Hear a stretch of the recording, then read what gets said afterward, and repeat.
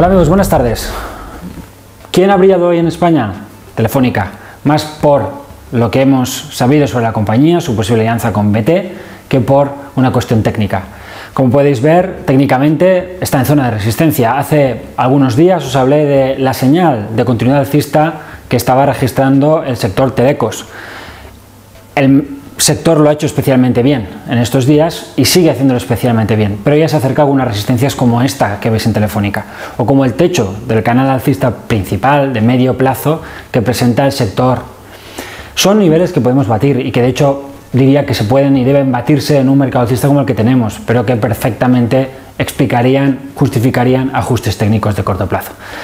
Para nosotros, cuando un valor sube como una pared, es el caso de Telefónica, es simple mantener. Si ha entrado en cartera bien, si no, suerte a los premiados.